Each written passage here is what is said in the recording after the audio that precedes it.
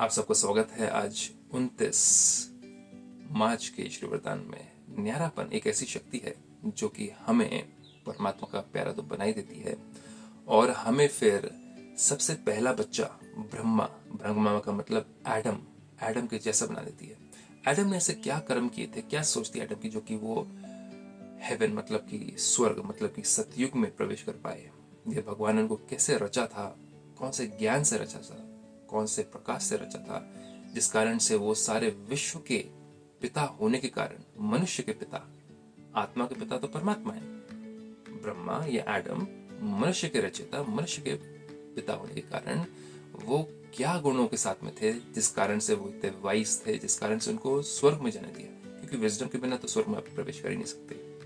तो वो था न्यारापन डिटैचमेंट कि सारे के सारे परिवार वाले, सारे बिलियंस बिलियंस जो है गिनत करोड़ों अरबों खरबों जो आत्माएँ हैं, उन्हीं के डिसेंडेंट्स है, लेकिन फिर भी उनको कौन सी ऐसी विद्या थी कि वो सबसे डिटैच रह करके भी वो सबको गाइड कर पाए?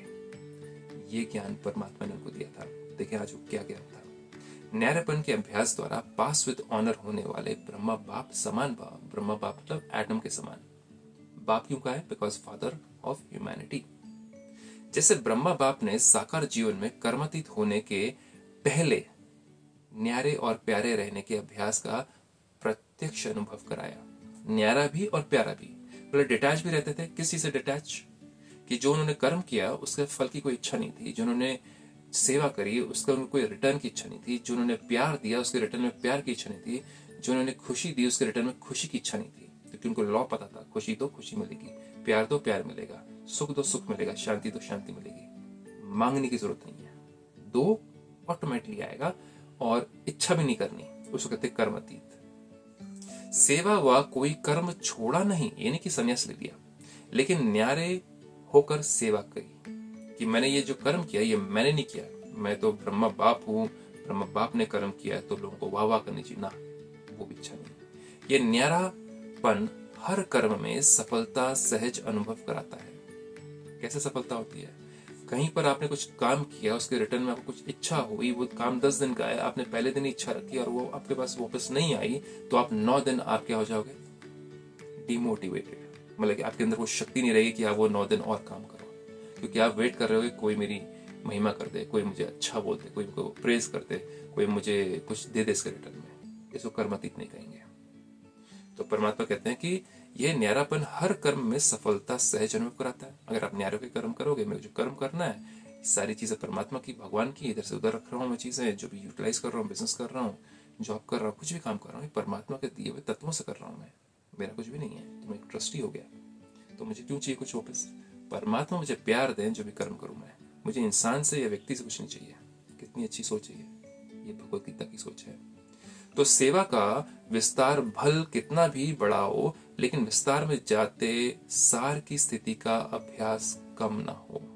क्या विस्तार में जाओ, सेवा विस्तार में करो। अगर आप बिज़नेस भी करो तो बिज़नेस को आप विस्तार में लेके जाओ। लेकिन जो सार है उसका कि डिटैच होकर के कर्म करना है। अटैचमेंट रख नहीं? मैंने ये काम किया, मुझे प्रॉफिट होना ही होना है। अगर प्रॉफिट नहीं हुआ तो मैं लोगों को ब्लेम करूँगा जो मेरे नीचे काम कर रहे थे। उनकी वजह से गलती हुई, उन्होंने गलत किया, इन्होंने ठीक नहीं किया, ये नहीं किया, ये नहीं होना चाहिए। तो लॉन्ग टर्म में एक लीडर जो होता है, वो हर चीज़ को ठीक करता है प्यार से, लेकिन जो शॉर्ट टर्म वाले होते हैं, वो बहुत जल्दी इरिटेट फ्रस्ट्रेट हो जाते हैं। तो वो कर्मातीत कर्म नहीं कर पाते, वो डिटैच होकर कर्म नहीं कर पाते, वो हर चीज़ में अटैच हो जाते हैं। वो क्योंकि रिज़ल्ट ओरिएंटेड है रिज़ल्ट के अटैचमेंट से। हमने कोई कार्य शुरू किया है तो उसका रिज़ल्ट आना ही आना है हंड्रेड परसेंट लेकिन मुझे ये रिज़ल्ट चाहिए, ये नहीं मिला इतने दिनों में, इसका कारण ये है, या है, या वो है।